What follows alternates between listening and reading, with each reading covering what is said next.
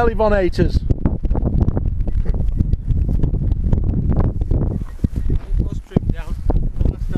Oh, was it quite windy?